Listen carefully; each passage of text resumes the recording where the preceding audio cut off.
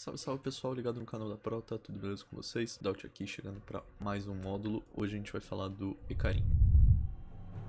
Suas almas imploram por descanso. Quer subir de elo muito rápido? O melhor jeito de aprender é com quem já tem resultados. Acesse a Prota Games e tenha acesso ao maior curso de League of Legends do Brasil. Então pessoal, pra gente começar o nosso módulo, eu vou dar uma lida rápida, como de praxe, né, como de padrão aqui na Prota, a gente dá uma lida rapidinha nas skills do campeão, incluindo a passiva e entendendo melhor como cada um interage no kit dele, beleza? A passiva do Ekarim é bem simples, o Ekarim recebe dano de ataque equivalente a 20% da sua velocidade de movimento adicional. Claro que essa porcentagem ela vai aumentando conforme o nível e o momento do jogo. Então Ekarim, em resumo, recebe dano de ataque proporcional à velocidade de movimento adicional que ele tem. Então é um campeão todo baseado na velocidade de movimento, é um campeão baseado em boost de velocidade de movimento. Então, cada campeão que tiver a possibilidade de buffar o Ekarim nesse quesito, por exemplo, uma Karma, uma Sivir, é um campeão que já é aliado do Ekarim nesse quesito, porque é um campeão que já vai ajudar a ele complementar o dano dele, dar mais burst, enfim, dar mais sustentação para ele nas fights. E o nome da passiva é Caminho da Guerra. Já o Q do Ekarim, o Enfurecido, é aquela skill que você vai ficar castando, né, que você vai ficar conjurando o jogo todo, a... durante toda a sua passagem na selva você vai fazer isso, é, quando você tiver combando os adversários, aquele seu dano por segundo vai vir pelo Enfurecido, uma habilidade que tem pouquíssimo tempo de recarga, principalmente quando você começa a conjurar ela diversas vezes em sequência. Uma habilidade que custa pouca mana também, eles deram uns nerfs nela quando o Karin estava bem forte, então hoje o primeiro nível é 28 de mana, mas no geral você tem uma boa janela para utilizar várias vezes a habilidade, então quase sempre você não vai ter problemas nas fights com relação a isso. Você pode conjurar diversas vezes o Enfurecido e não tem problema nenhum. Ele golpeia, ele gira, né?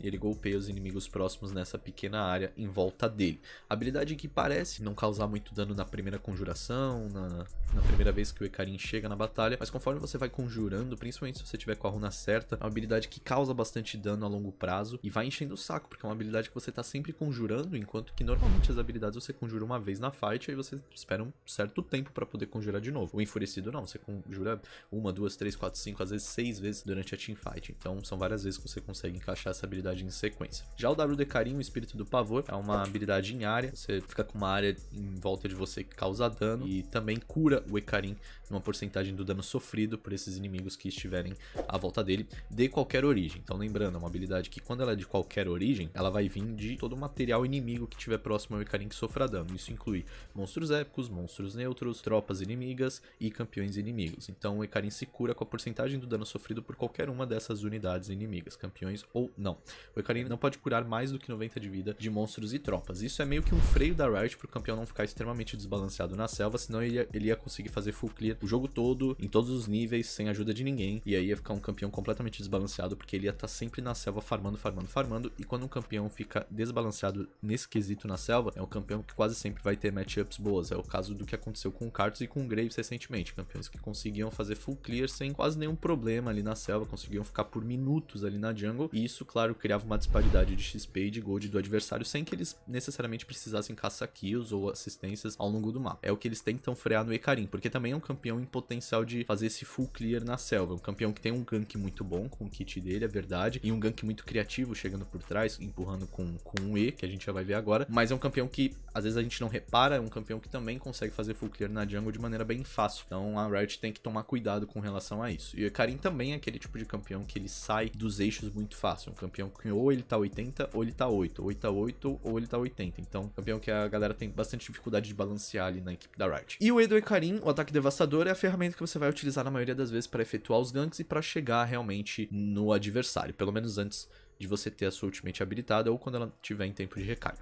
O Icarim recebe velocidade de movimento crescente quando o E está ativado e ele ignora a colisão com unidades. Isso é um fator que poucos jogadores prestam atenção, mas é muito importante para ele não ter aquele minion block que a gente fala, né, que é comumente conhecido. Então, quando você liga o E, você ignora a colisão com unidades, com tropas, enfim, ele passa dentro mesmo. Seu próximo ataque com o E ativado, com o ataque devastador, empurra o alvo para trás, causando dano físico com base na distância percorrida por Icarim. Ou seja, quão longe você vier, maior vai ser o seu dano, entendeu? Então, dependendo de quão longe você vier e conjurar o ataque devastador no adversário, maior vai ser seu dano. Se você conjurar instantaneamente pegar o adversário, você vai dar um dano reduzido, um dano mínimo. E se você vier lá de longe com um E, com um ataque devastador já conjurado, o Icarim vai dar bastante dano. Então é bem importante que você tenha essa ciência na hora que você vai dar os ganks, de você ativar o E de maneira com que você chegue perto do adversário com ele já acabando, com a conjuração da habilidade já acabando, que é para você dar o máximo de dano possível e empurrar o adversário, geralmente para perto do seu aliado da lane, né? Você não vai querer empurrar o adversário para debaixo da torre dele, porque aí você vai estar tá salvando o adversário. Por isso que o Icarim,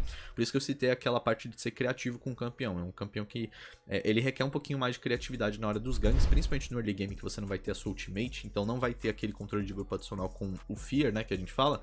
Você vai ter que ser criativo na questão dos ganks, vai ter que vir por trás, geralmente, para empurrar o adversário, primeiro para longe da torre dele, segundo para perto do seu aliado na rota. Já a ultimate do Ekarim, por último, mas não menos importante, Massacre das Sombras, uma ultimate em área. O Ekarim ele invoca cavaleiros espectrais e avança. Resumidamente, ele avança, causa dano mágico a inimigos atingidos pela ultimate e também desfere uma onda de choque, por assim dizer, que causa nada mais nada menos do que o fear, né? O temor que a gente fala. Mesma coisa com Fiddlesticks e tal, é o caso do Ekarim. É uma ultimate em área, muito importante, não é uma ultimate que você pode conjurar qualquer minuto, até porque o tempo de recarga dela é bem alto, então você tem que pensar bem na hora de utilizar, mas ela é quase toda pensada para as teamfights mesmo, pessoal, quase toda pensada para você entrar na backline adversária. É, essa ultimate é claramente isso, sempre foi e sempre vai ser, tá? O Massacre das Sombras é basicamente uma skill criada para, assim, ó, Icarim, você tem uma função, é entrar na backline adversária. Por que que eu tô dizendo isso? Porque o Icarim, ele ignora controle de grupos, ele se torna invulnerável, o Icarim, ele não pode separado quando ele tá conjurando a ultimate dele. Então isso dá para você o leque de possibilidades muito grande, como por exemplo, você simplesmente chegar, conjurar o ataque devastador para ganhar velocidade de movimento e conjurar o massacre das sombras na frente da composição adversária, eles não vão poder fazer nada a respeito, porque não tem como parar o Icarim na conjuração da habilidade. Funciona mais ou menos como no caso do Malfight. Então, uma habilidade muito importante, habilidade para chegar mesmo na linha de trás adversária, conseguir habilitar isso nas teamfights. E quando o Icarim tá na frente, sempre que ele tem o massacre das sombras disponível, ele se torna um pesadelo no mapa, porque é difícil de sair, se você não tiver flash, é muito complicado de você desviar do Massacre da Sombra, sério, você precisa fazer um desastre para realmente errar essa ultimate. Então, uma, uma ultimate muito boa e muito valiosa, que você tem que dar a devida importância, uma ultimate que pode virar as fights, virar os jogos e abater os adversários mais frágeis muito rápido, dependendo da força que você tá naquele momento do game. Basicamente o kit do Karim, né, agora uma hora que a gente discute um pouquinho isso, o kit do Karim ele é basicamente voltado para entrar na backline, depois do nível 6 e principalmente nas lutas em equipe, mas também funciona bastante para dar aquele hyper carry que a gente fala. É um campeão que tem muito potencial de carregar o jogo sozinho, porque é um campeão que, primeiro, resiste muito e a galera meio que subestima isso, mas mesmo o Ikarim buildando um pouco de dano, às vezes esquecendo de buildar resistência, se ele tiver forte, se ele tiver à frente no jogo, é difícil de matar o Ikarim. É, mesmo que ele vá de Smite e Fantasma, que é o caso de muitos jogadores, principalmente agora que o, o, o Fantasma voltou a ser utilizado depois dos recentes buffs, mesmo assim é difícil matar o campeão, porque é um campeão muito resistente, um campeão muito liso,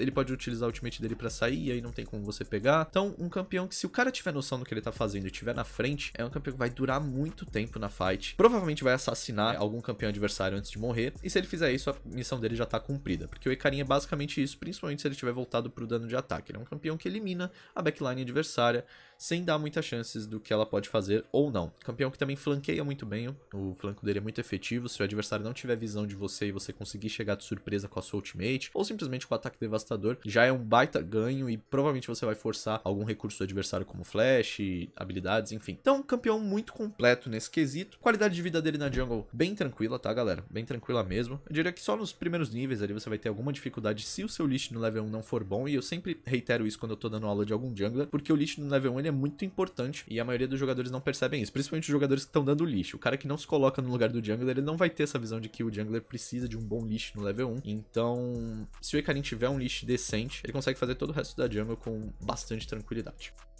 combos, pessoal. A maneira com que você vai chegar na lane com o Ekarim foi aquilo que eu falei ali no tópico de habilidades.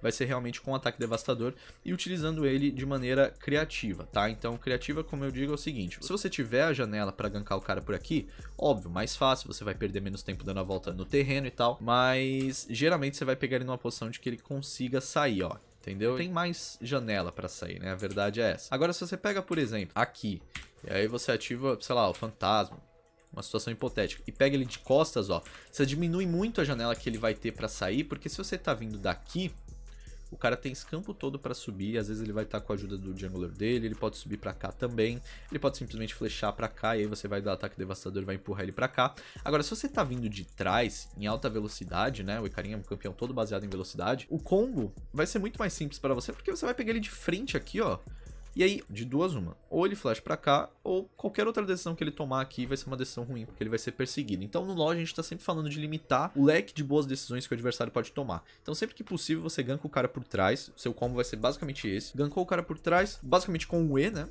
Se tiver o fantasma melhor ainda, mas com o E. E aí você começa a desferir loucamente o que com o W ativado. O W você vai utilizar uma vez durante as investidas, porque é uma habilidade com um tempo de recarga muito alto, então a probabilidade de você conjurar o W duas vezes numa mesma fight é muito improvável mesmo, é muito pequena a chance. Então é basicamente chegar com um E, é, ativa o W e começa a desferir Q no cara como se não tivesse amanhã, entendeu? O que ele dá uma, um dano de sustentação bem alto e você provavelmente vai abater o cara se você pegar ele da maneira certa e ele não tiver feitiço. Se o cara não tiver feitiço, é muito difícil dele sair do gank do Ekarim, principalmente se ele não tiver mobilidade adicional, se ele não for um caçadinho, uma área, uma LeBlanc algo do tipo. Beleza, comportamento na lane phase, rapaziada, na fase de rotas, na fase em que seus aliados ainda vão estar tá ali batalhando com seus respectivos laners, o comportamento de Karim vai ser bem simples. Você vai aproveitar as oportunidades que as matchups ou que as circunstâncias do jogo vão te dar. Por que, que eu falo isso? Porque o Karim, ao mesmo tempo que ele pune muito o cara que não tem mobilidade, o cara que tá sem feitiço, ele também é um campeão difícil de encaixar se os inimigos tiverem visão dele, se os inimigos tiverem noção de onde você tá, de que lado da jungle você tá. Então eu diria que o primeiro passo para você começar bem com o Ekarim ali na selva é você ter um bom controle das informações que você tá dando pro inimigo. Sempre tenta esconder o side da jungle que você tá, sempre tenta negar a visão do adversário, tenha trinket cedo no jogo, tá? A lente detectora, né? Tenha ela sempre cedo no jogo. Eu recomendo que você saia da base, drop a ward e volte já antes do primeiro buff para trocar a trinket, aí você já sai pro primeiro gank com a lente detectora ativa para limpar uma possível ward do adversário. Então é sempre investindo na visão, porque aí no early game você vai ter um leque maior de possibilidades para gankar. É, o Icarim ao mesmo ele, como eu disse, ele é 880 em vários pontos. Ao mesmo tempo que ele é 80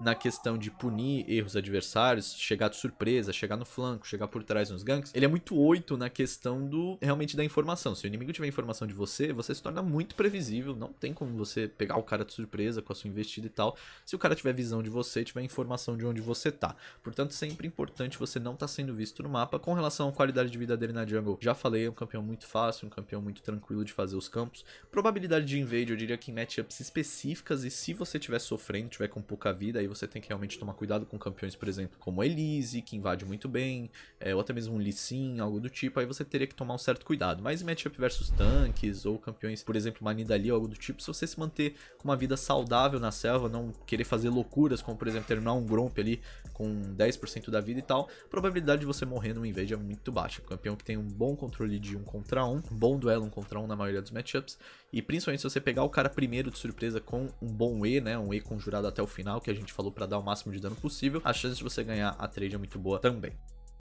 Já na questão do comportamento nas teamfights, pessoal, acho que todo mundo entendeu muito bem a função do Ekarim com a sua ultimate. Sempre que você vai lutar, é imprescindível que você tenha sua ultimate ativa, tá bom? A diferença que o Ikarim pode fazer na fight com e sem ultimate é gritante, é uma disparidade imensa, eu diria que uma das maiores do LoL, pelo menos entre os caçadores. É quase como, por exemplo, um, um Kong da vida, entendeu?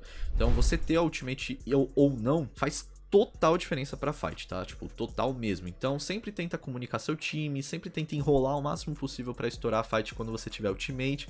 E claro, sempre, principalmente a partir dos 20 minutos, tenha ela pronta para os momentos certos, tá? Não gasta ela à toa, tenta não ser pego fora de posição, porque senão você vai ser forçado a utilizar ela para fugir, e é quase como uma ultimate do Malfight. Se você gasta ela para fugir, você não vai ter ela daqui a um minuto para agressivar. Então, tomar muito cuidado com isso. E a partir do momento que você tem ultimate, uma fight ideal assim, o que você vai querer com o Icarim nas fights é realmente entrar na backline adversária e habilitar isso para o seu time acompanhar. Porque o Icarim é um campeão que, além de causar muito dano, se ele estiver forte na partida, chega um momento do jogo em que ele passa a ser mais utilitário, ele passa a causar menos dano, os inimigos começam a ter mais mecanismos para lidar com ele, porém ele continua tendo a possibilidade de habilitar o follow-up do time que a gente fala, né, nas fights, que é realmente comprar tempo, é forçar recursos do adversário. Então, se você ulta a backline adversário e força já pelo menos um flash, uma ultimate ou algo do tipo e sai vivo, você forçou o recurso do adversário e muito provavelmente você ganhou tempo para sua composição, para os seus aliados chegarem e darem follow no, no dano, né? Campeão muito interessante para isso, para forçar recurso da backline adversária e para propriamente entrar nela e tentar abater um ou dois alvos. E bom, basicamente foi isso, pessoal. Eu espero que vocês tenham gostado do módulo do Ecarim. Se você gostou, deixe seu comentário, seu feedback aqui embaixo. Muito importante entender o que, que a gente está acertando e o que a gente pode melhorar. Não esquece de deixar o seu joinha, se inscrever no canal, é, compartilhe com seus amigos e também ative o sininho para receber as notificações e não ficar por fora de nada, beleza? Vou ficando por aqui. Até o próximo vídeo e tchau.